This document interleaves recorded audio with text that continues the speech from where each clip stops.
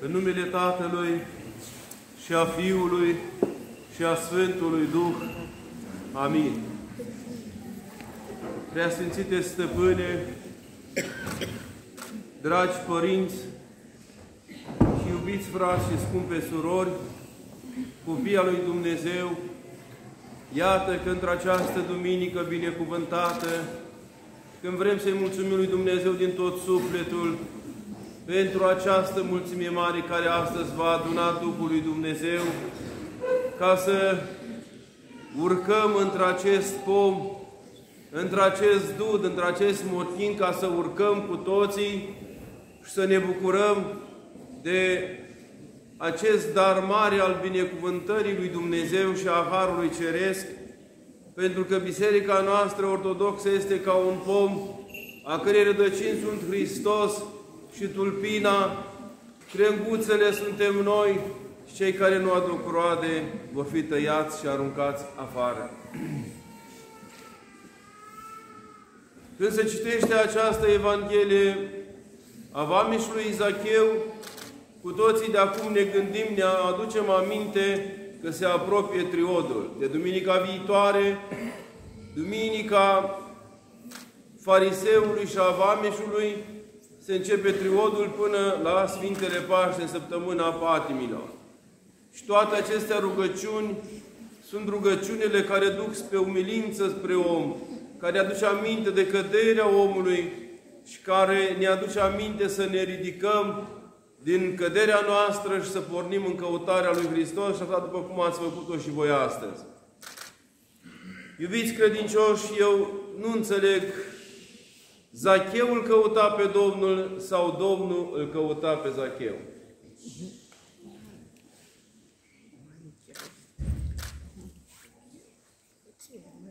Deci, cred că se căuta unul pe altul.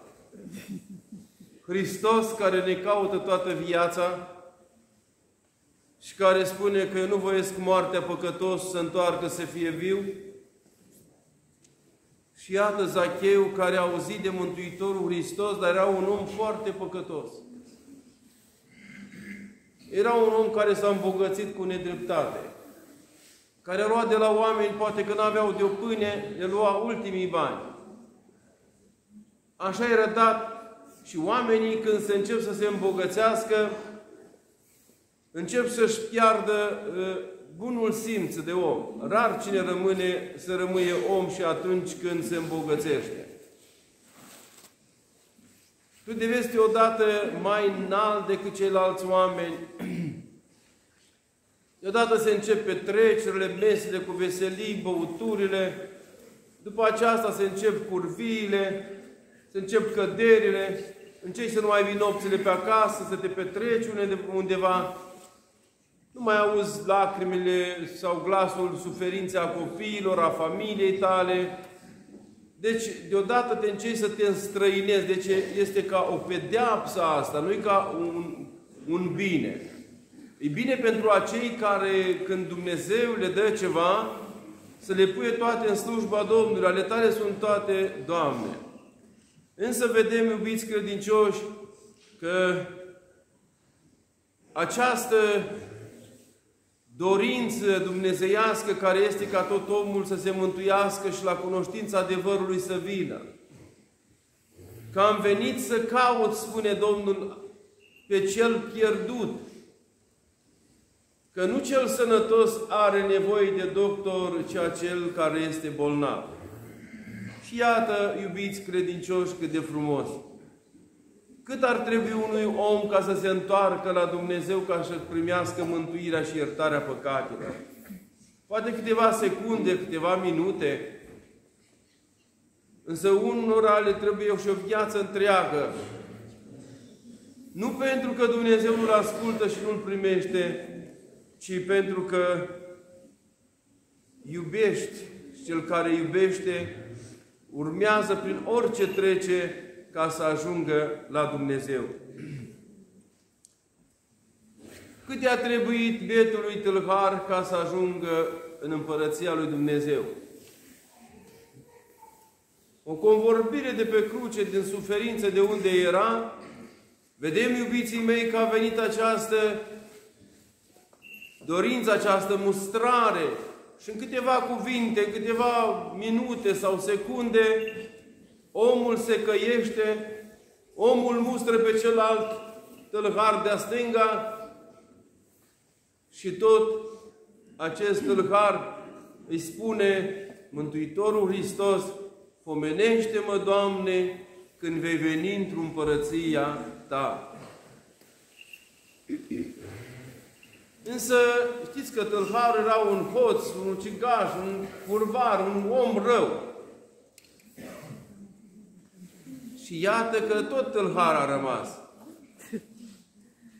Tot tâlhar a rămas, fraților, că a furat, a furat raiul, a furat împărăția lui Dumnezeu, spune Sfântul Ioan Gură de Aur. Interesant, nu? Deci a fost tâlhaș pe pământ, însă după pocăință acum a furat cele sfinte. A furat raiul lui Dumnezeu, că a fost primul om care a deschis ușile împărăției lui Dumnezeu, ușile raiului. Și iată că a venit tâlharul. De aici s-a schimbat, de pe cruce s-a schimbat viața acestui tâlhar. De când te întâlnești cu Dumnezeu, noi toți cei care am venit astăzi la biserică am venit să ne răstignim aici. De aici am venit să ne întâlnim cu Dumnezeu, fiecare dintre voi. Nu a avut nimeni dintre noi o dorință să, se, să ne întâlnim unii cu alții, chiar dacă ne bucurăm când ne reîntâlnim. Că de multe ori am zis și spun drept că fără voi e greu aici pe pământ, dar și în cer fără voi ar fi greu. Că așa, așa ne-ați învățat prin iubirea voastră, prin dragostea voastră, prin jertfirea voastră, prin această frumoasă ortodoxie a noastră în care trăim și ne îmbogățim duhovnicește. Și aici e greu unii fără alții și în veșnicie tot n-am putea. De aceea să ne rugăm ferbinte Domnului să putem reveni toți la o viață duhovnicească, la o viață cu Hristos, ca așa, Doamne, cum aici și acolo sus în cer, să fim cu Tine prin mila și îndurarea Ta, pentru că altfel nu ne putem nimeni mântui. Și iată acest tâlhar a furat raiul fraților, cei care erau lipsiți, cei care au rămas fără viață veșnică, fără Dumnezeu, iată de pe cruce aici când te răstignești, îl primești pe Hristos, tu te duci pe altă cale, pe altă viață în ce a trăit și voi tot la fel. Așa a făcut-o acest om mic de statură. Căuta și el căuta. Precum Domnul a venit să caute și să mântuiască pe cel pierdut, spune. Și voi vă bucurați astăzi, nu? Până am să spuneați, sunt prea păcătos, sunt prea rău, cred că nu mai mă iartă Domnul, cred că de acum pierd, mă așteaptă iadul, am făcut multe păcate și Dumnezeu astăzi spune că te caută, păcătosule. Te caută însăși Dumnezeu. Te caută. Și astăzi tu ai auzit de acest Domn care iubește, care iartă, care nu-ți cere prea multe. După cum spunea Sfântul Ioan Gură de Aur, Vă gândiți că așa e de ieftină împărăția lui Dumnezeu? Că poți să o cumperi cu o bucată de pâine și cu un pahar de apă rece? Și pentru că bunătatea lui Dumnezeu e atât de mare spre noi, care vrea ca tot omul să se mântuiască și la cunoștința adevărului să vină. Și iată, iubite suflete, după cum spune la slujba mormântării, căci slava Dumnezeirii sunt chiar deși port rănile păcatelor, noi purtăm rănile păcatelor pe noi, dar slava lui Dumnezeu suntem că El ne-a zidit după chipul și asemănarea Lui. Și iată acest Petru, Vameș, acest Zacheu, care era mai marele vameșilor. Era un, un șef de vamă care conducea peste toți. Vine o mulțime mare de oameni pe Nerihon, iar că trece pe acolo Mântuitorul Hristos, se îmbulzesc care mai din care să ajungă, să vadă. Și iubiți credincioși, acest om mare se urcă într-un copac. Pentru că căuta să-L vadă pe Domnul Isus. Cine este acesta? Și dacă Domnul era în căutarea ta, în căutarea mea, de asta l-a văzut acolo, că știe că tu-L cauți. De multe ori nu-L căutăm cu toată inima. Nu ne gândim ce va continua mai înainte, ce va fi în continuare. Însă iată că Mântuitorul Hristos privește spre acest dud, spre acest pom și îl vede acolo pe Zacheu. Și spune pe nume. Vă dați seama cum se uita acel Zacheu, cred că s-a ascuns printre frunze pe acolo să nu-l vadă lumea. Că tot și s-o fi gândit că omul acesta cred s-a îmbolnăvit puțin cu capul, că se urcă prin pome, acum se scațără ca un maimuțoi prin copaci, nu? Altă dorință era. Când ai dorință, nu te interesează nimic, nici ce spune lumea, nici ce va fi. Eu vreau, omul hotărăște.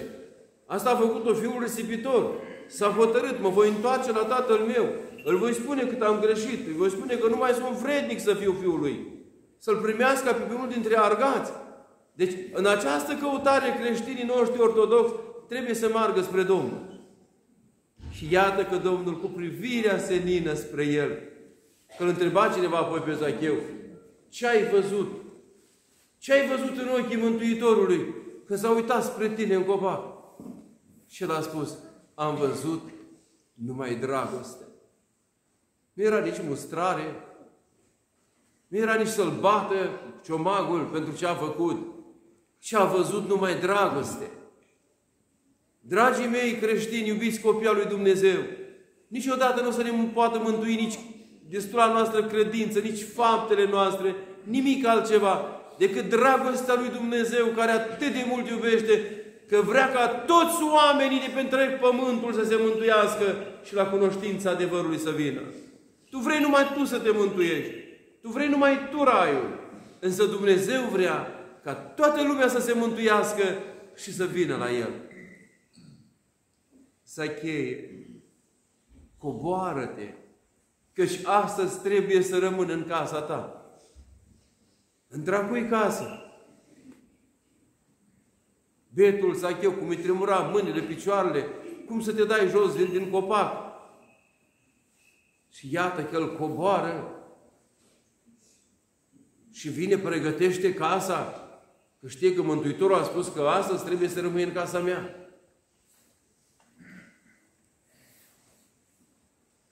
Și el vine și pregătește casa și iată că vine Mântuitorul, intră în casa lui Zacheu și Zacheu îl întâmpină. Îl întâmpină cu plecăciune, cade înaintea Mântuitorului și spune, Doamne,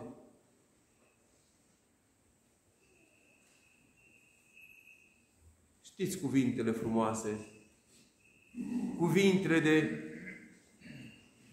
pocăință, părerea de rău. Vă știți ce greu să rupi din omul bogat? Vă știți ce greu este, fraților, să te împarți cu cineva din ceea ce ai adunat o viață și cu nedrept? Tu știi când îți numeri cât ai și cât, cât ți-ar mai trebui ca să te mulțumești și niciodată nu te mulțumești, tot vrai și vrai. Vă știți cât de greu este operația când trebuie să dezlipești ceva, să tai ceva din organismul tău, din trupul tău. Cât de tare doare. Așa este și păcatul care crește, care a crescut în noi, care a prins rădăcini în noi acest păcat. Iată, Doamne, jumătate din averea mea o dau săracilor. Ce până atunci nu mai erau săraci? Nu mai erau năcăjiți care plângeau fără pâine? Iată jumătate din averea mea, Doamne, o dau săracilor. Și dacă am năspăstuit pe cineva cu ceva, întorc împătrit.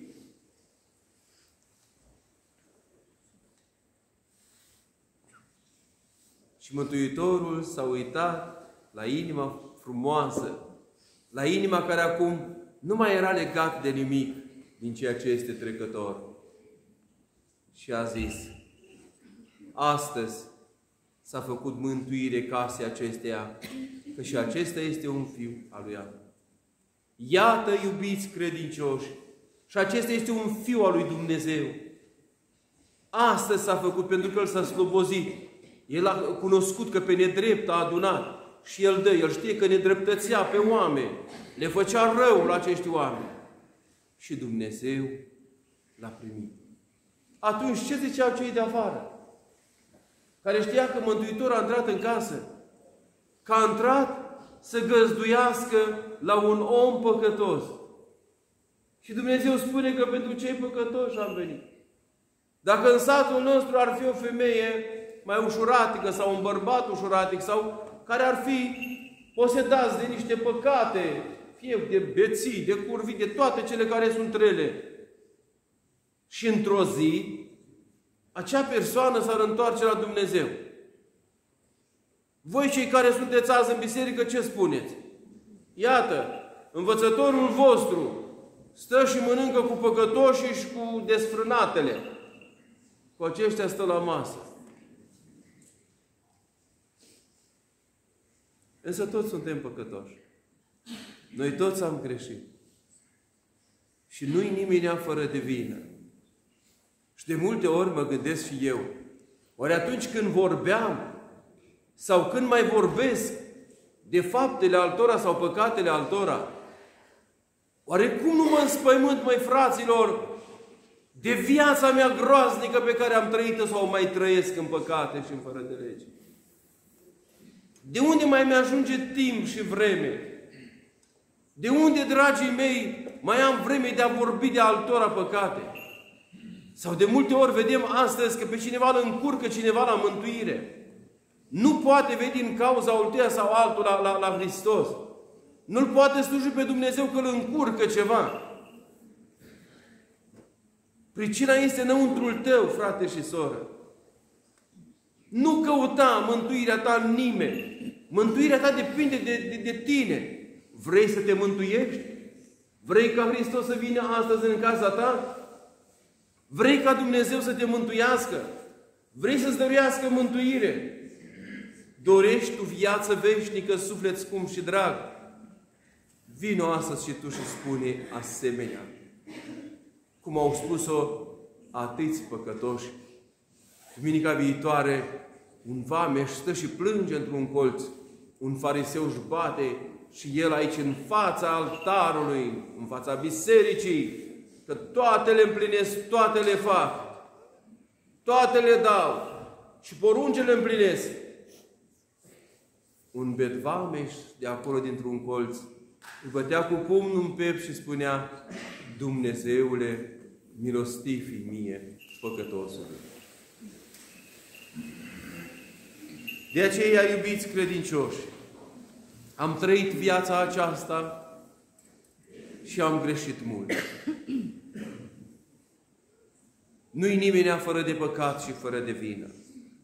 Întorceți-vă la Dumnezeu cu viața voastră. Părăsiți tot ce, ce este păcat ce se face astăzi. Se vede unde a ajuns lumea aceasta și din rău în mai rău se duce.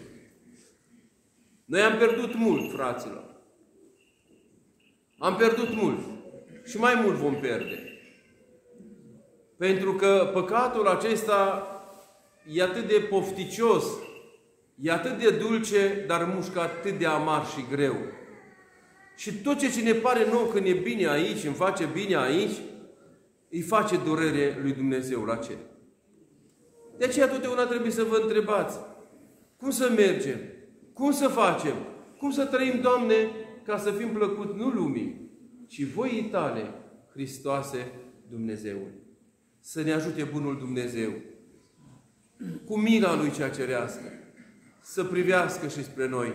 Cei care, au, care am urcat astăzi în pomul ortodoxiei, ca să păstrăm această credință curată ortodoxă. Să nu ne uităm la cei care astăzi au vândut și vând. Patriarhi, arhirei, preoți, călugări, care au devenit astăzi iude printre noi și își vând credința și își vând tot ce a fost sfânt, canoanele bisericii noastre și rânduiala. De a păstra această credință ortodoxă, fraților, Oamenii sfinți, martirii lui Dumnezeu au murit în închisori, aruncați la fiare, dar nu s-au lepădat, nu au lăsat. Le-au spus să spună așa cum spune ei și ei, n-au spus. Ei au spus cum a spus Dumnezeu. De aceea vedem astăzi atât de ușor. Oamenii au căzut în erezii, s-au desprins de biserică, s-au desprins de adevăr și vorbesc ceea ce le spune diavolul prin gurile chiar și a patriarhilor, a arhireilor, uitând de ce suntem chemați, ce trebuie să mărturisim fraților. Mi-a arătat cineva săptămâna trecută cum arhirei ortodoxi au mers la slujbă ecumenică și s-au rugat cu ereticii. Și acolo își vedeau mersul lor în continuare, că trebuie să revenim toți acolo și să mergem împreună.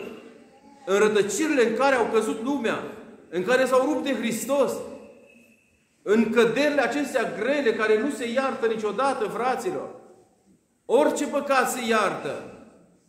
Păcatul ereziei, fraților, rătăcirii, chiar dacă te-ar omorâ bucăți să te facă pe drumuri, că nu te iartă nimic. Nu se iartă acest păcat.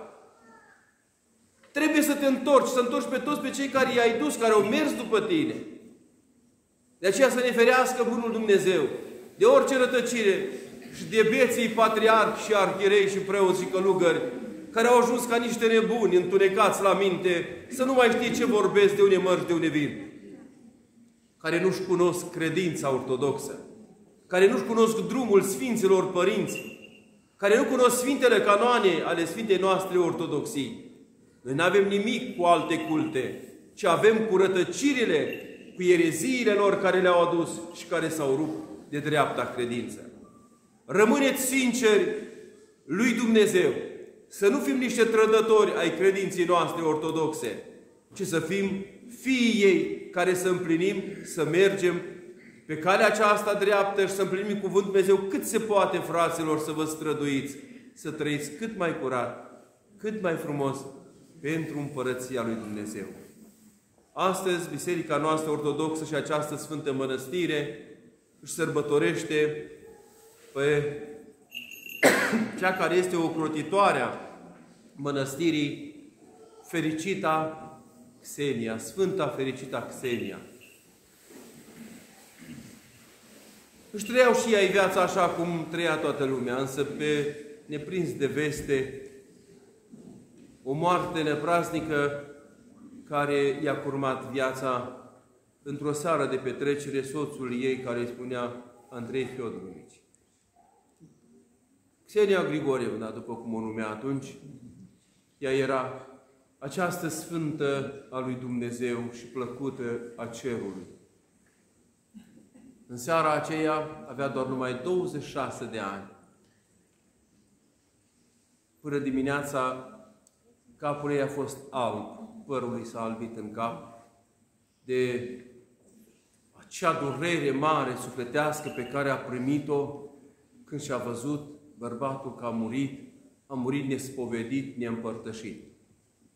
Știți cum se spune un cuvânt frumos pe care vă spun și eu din Sfânta Evanghelie, că bărbatul necredincios se sfințește prin soția credincioasă și soția necredincioasă sfințește prin bărbatul credincios. E o mare taină, fraților, aceasta pe care trebuie să o credeți și să vă rugați ferbinte că Dumnezeu ne ajută și le schimbă pe toate, numai să ne rugăm ferbinte unii pentru alții, după cum ne învață. Și iată că această femeie a lui Dumnezeu, acest suflet, atât de mult a îndrăgostit pe Domnul și cu atâta durere, că a împărțit totul la săraci, că avea averi multe, era un om mare, polcovnic pe vremea aceea de armată, și erau stăriți, aveau de toate cele.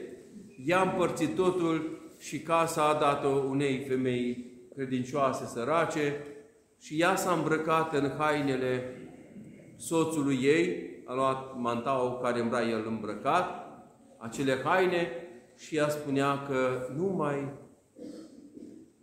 trăiește Xenia, ci trăiește Andrei Fiodorovici adică soțul ei trăiește, ea a murit. Dacă o striga cineva pe nume, ea nu se întorcea. Când o striga pe numele bărbatului, ea se întorcea. Adică durerea sufletească a făcut-o aceasta, că n-a mai vrut nimic. Și a intrat într-o stare de duhovnicească, o stare de trăire uh, sfântă, cerească, în legătură mereu cu cerul. Îmbla toată ziua pe străzi. Picioarele erau roșii de frig, hainele rupte de acum. O urmăreau toți că au chemat, au spus că s-a stricat de cap și uite că împarte totul, de totul și să facă ceva cu dânsa. Au chemat, au stat de vorbă, zice, femeie este cu minte, este la locul ei, așa își dorește să facă lucrurile acestea, noi nu putem opri. Și când au urmărit-o într-o noapte, a mergea de cu seară și până dimineața, undeva în pustii, căutau un loc și toată noaptea plângea și se ruga pentru dânsa, dar cel mai mult pentru soțul ei, ca Dumnezeu să-l ierte și să-i dăruiască mântuirea în veșnicie. Această viață curată, iubiții mei, pe care a trăit-o ea, multe a avut de chinuit. Să știți că căra noaptea cărămidă la o biserică, am fost și noi, ne-am închinat acolo, la, în San Petersburg, la o biserică care ia toată noaptea căra cărămidă pe șchelile care erau puse și se mirau toți dimineața cine atâta cărămidă că aveau toți cei care construiau pentru o zi întreagă o femeie cu poalele ei într-un șorț care punea cărămida și o urca sus acolo și o punea ca să fie clădită în biserică.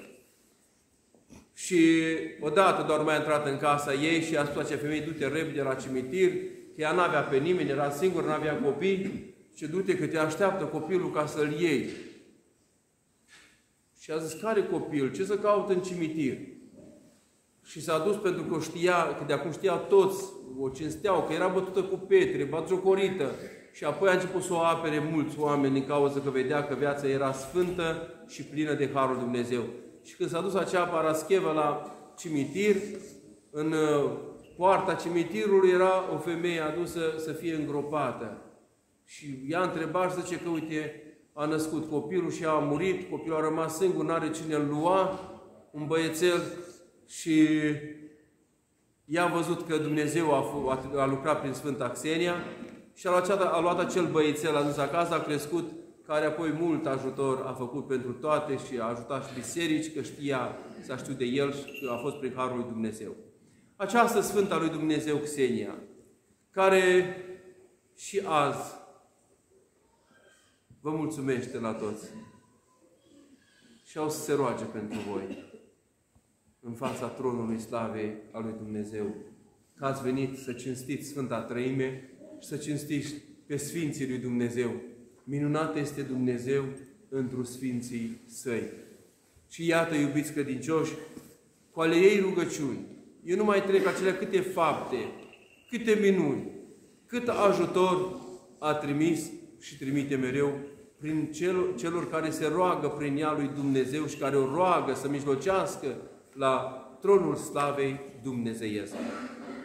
Să vă ajute cu rugăciunile prea fericite, Xenia, Doamne Iisuse Hristoase, Fiul Dumnezeu, miluiește și mântuiește acest popor binecredincios și toată lumea de pe întreg pământul.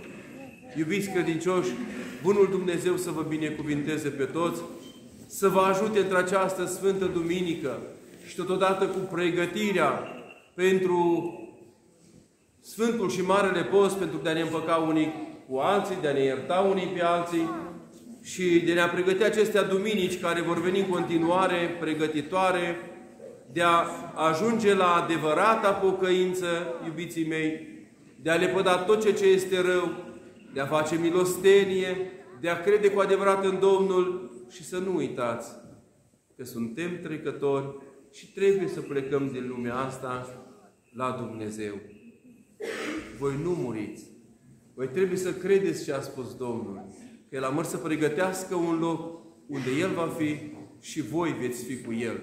Să credeți în aceasta puternic și noi vă mulțumim pentru dragostea voastră. Să vă răspătească cerul întreg pentru că voi credeți că ați rămas ortodoxi prin vremurile care vin, care au venit, prin tot ce, ce a fost, bătăi, chinuri, prigoane, ne-au luat biserici, ne-au chinuit toți anii aceștia, însă n-au putut să le iei pe Dumnezeu din viața noastră, din inima noastră.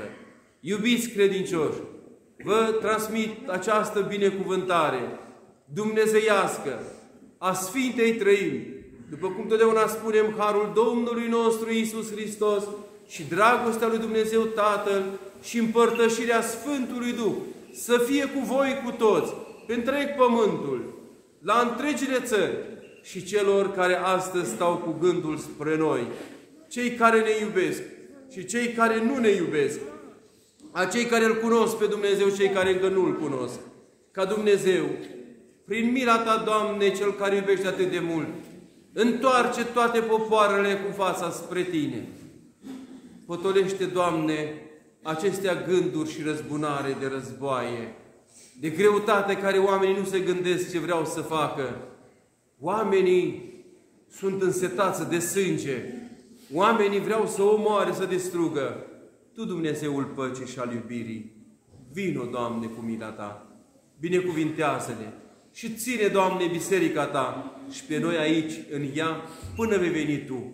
Căci așa a spus Domnul, căci biserica mea, nici porțile iadului nu o vor birui. Asta este biserica lui Hristos. Că eu sunt un tâlhar, că eu sunt un hoț, că eu sunt un rău care mă vedeți pe mine. Biserica nu-i de vină cu nimic. Vinovatul sunt eu. Dacă mă duc cum mă învață Hristos, atunci sunt și eu un copil al acestei biserici. Dacă mă duc nu cum vrea Hristos și mă duc împotrivă, învăț împotriva Dumnezeirii, atunci sunt tot un fiu, numai nu al lui Dumnezeu, ci a celui rău. Așa că iubiții mei frați, patriarhi și arhirei, care vă gândi că veți înșela lumea, și veți dărâma Biserica lui Hristos, o să fiți voi dărâmați dacă nu vă pocăiți, nu vă întoarceți și nu veți mărturisi singurul și adevăratul adevăr, mântuitor al credinței noastre, veți speri cu toții la fel. Că așa spune Domnul, eu vă spun nu, ci dacă nu vă pocăiți, veți speri cu toții la fel. Această pocăință a vameșului, fraților, care nu i-a părut rău de tot ce a făcut în viață și a fost gata și, și a făcut-o, că nu numai gata, el a și făcut-o pentru ca Dumnezeu să-l ierte, că el a văzut mântuirea care s-a atins de inima lui, bucuria, iertarea. Acum el era un om ceresc. Noi toți, și voi și eu, am fost legați de veacul acesta, că de aici trebuie să ne înălțăm o leacă mai sus, să ne dezlegăm o leacă de cele care sunt lumești, de cele care sunt pământești, la cele cerești. Și atunci tu încerci să înțelegi că te țin legat lanțurile viacului trecător. De ce oamenii se tem să moară? De ce oamenii se tem să plece din lumea aceasta spre o altă lume? Spun că nu o cunosc, că nu știu. Ba știm noi destul de bine. Ci suntem prea legați de viacul acesta trecător, de care trebuie să ne dezlegăm și să plecăm spre Domnul, spre veșnicie și toate să le lăsăm. Toate să fie în slujba Domnului, iar noi să mergem cu Hristos, cu veșnicia. Asta vă rog, iubite suflete al lui Dumnezeu, și vă mulțumesc din suflet că astăzi, într-un număr atât de mare ați venit, să vă răspătească cerul întreg, Maica Domnului, să fie cu voi, să fiți călăuziți de Duhul Sfânt, aici pe pământ și în veșnicie. Ajută-ne, Doamne, să fim cu toții la fel. Amin. Дорогие братья и сестры, всех вас поздравляю сегодняшним праздником. Отец Онуфрий, все, что я вам сказал сегодня, он уже записал, потому что он все записывает в голову, в душу, знаете. И он все вам расскажет после причастия, проповедь. Но я прошу блаженную Ксению, которая так возлюбила Господа Бога, что ради Него и Царствие Небесное она все оставила и пошла по следам Господа нашего Иисуса Христа. Блаженная Ксения, моли Бога о нас грешных. А вам всем благодарен, братья и сестры, за вашу любовь, за то, что вы, и за то, что мы все православные – Оставайтесь всегда верны Господу Богу и нашей православной вере. Не смотрите, потому что сегодня великие искушения в этом мире. Но всегда так было.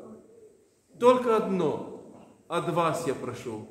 Оставайтесь верны Господу Богу и нашей церкви православной, и нашему дорогому блаженнейшему Ануфрию, который Господь сегодня дал ему этого послушания, быть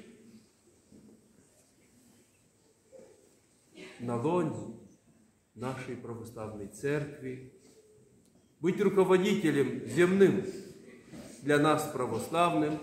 И слава Богу за такую веру, доброту и любовь, которая нас ведет в Царствие Божие. Вы знаете, как сказали люди? Даже придет время, не будет Евангелия, не будут книги, чтобы читали. Но вы, когда посмотрите на таких людей, вы в них будете читать Евангелие Божие. Дай Бог, чтобы у всех православных христиан, когда на, на нас будут смотреть, чтобы они читали Евангелие Божие в наших сердцах, в наших глазах, чтобы наши глаза не сияли от зло, а чтобы сияли от радости, от любви. Так как сегодня встречался Господь Бог с Закеем.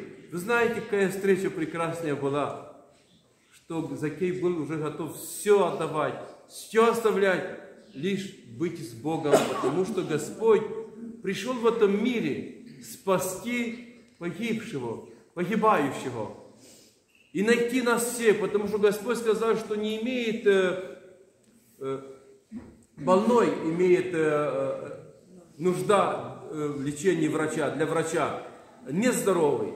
Так что мы все, которые больные сегодня, мы все э, заболели этого греха земного.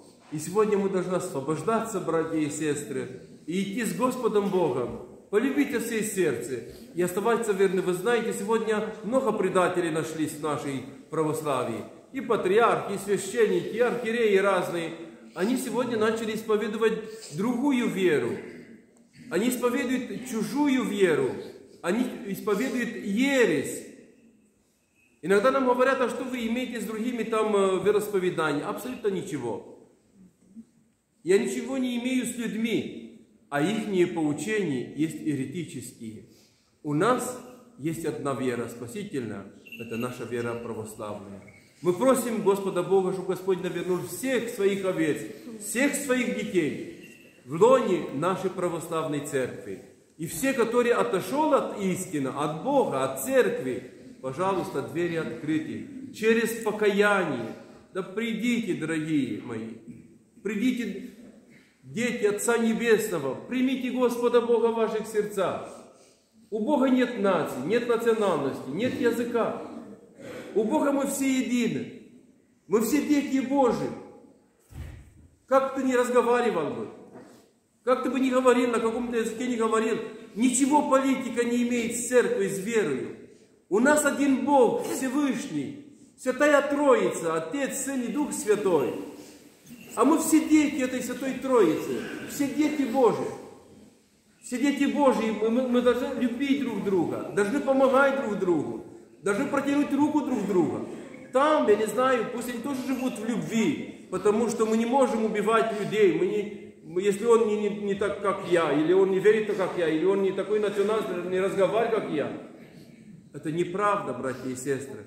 Господь создал всех народов, Господь создал всех языков. Давайте помолиться, чтобы Господь тоже дал нам всем детям, которые живут на всей земле, одну веру, одно крещение. И чтобы мы все могли идти навстречу с вечностью. Эта жизнь очень быстро проходит. Когда я приду, Господь не спросит, как я разговаривал, по-румынски, по-украински, по-российски, по-английски. Господь будет спросить меня за мои дела, какие они есть. А у вас хорошие дела, но все равно вы грешные. Все мы грешные, братья и сестры. И вы знаете, когда-то Господь зашел в дом, и Он кушал с грешниками и с блудницами. Там пришла женщина, которая упала у ног Спасителя, и она умывала со слезами ноги и вытирала волосами своей головы. И она целовала непрестанно. У ней не было слов. потому что она считала себя очень грешной. Но через слез, через это покаяние, она открыла сердце Богу. И Господь пришел в ее сердце. И как Господь сказал, я зашел в дом, ты мне не дал воду, чтобы я помыл э, ноги, она слезами своими омывала. Ты меня не целовал, она непрестанно целовала мои ноги. И самое, что было дорогое миру, она принесла для Господа Бога. Так и вы, дорогие мои. Сегодня Господь говорит, много ты согрешила, но много любила, кто любит много, прощается много, все прощается. Господь сказал, я пришел спасти погибшего. Господь не пришел нас наказать, убивать, терзать. Он ищет тебя, Он ищет меня, Он хочет нашего спасения. Господь хочет, чтобы мы были все с Ним на небесах. Зато я вас всех прошу, живите в дружбе, в любви, со всеми людьми, которые есть, со всеми нациями, которые есть на земле. Нас ничего не разделяет. Лишь одно от Бога нас разделяет – наш грех, моя жизнь, так, как я живу. Так что я вас очень прошу, дорогие братья и сестры, чтобы Господь Бог всем нам помогал, чтобы мы любили очень сильно друг друга, когда ты даешь кусочек хлеба, ты не должен спрашивать, какая у тебя нация, как ты разговариваешь, какая у тебя вера. Я даю, потому что ты мой брат. Его сотворил Господь, и меня тоже. Значит, мы братья. Кто бы он ни был, в Африке, в Германии, в Америке, в России, где бы он ни был, наши братья и наши сестры. Дай Бог, чтобы Господь послал нам мир на этой земле, чтобы вразумил этих людей, чтобы они не так легко смотрели на войну, на пролитие крови. Потому что вы знаете, что есть написано, Святой Гавриил, как сказал, что будет таять камни и железо. Какая беда будет на этой земле? Кровь будет проливаться реками. И за это, братья и сестры, молитесь. Нехорошие времена сегодня. Все, что сказали святые отцы, все исполняется. Но еще имеем надежду, что Господь Бог помилует. Слава Богу, что помиловал в эти трудные время. Знаете, три года уже с этой болезнью бедные люди так замучили нас, с этими прививками, с этим пускает на работу, не пускает на работу. Да? Это издевательство над народом Божьим, понимаете? Это ничего, кроме того, что они научились издеваться над нами. Делать всякие вирусы в лабораториях, потом Бросают их везде, люди болеют, они улыбаются и наслаждаются. Придет и ваш конец, не бойтесь. Есть судья праведный. А вам, слава Богу, за ваше терпение, за вашу любовь, за вашу веру. Да благословит всех вас Господь, дорогие мои православные. Вы сильные, вы крепкие, потому что у вас есть Бог. У вас есть любовь. А любовь побеждает все. И любовь спасет мир. Только смиренную любовь спасет этот мир. Пусть она живет в каждом сердце, в каждой душе, что мы могли обнять друг друга сегодня с радостью и сказать, Христос воскресе, радость моя. Спаси Господи, Божьей помощи и Божьего благословения. Аминь.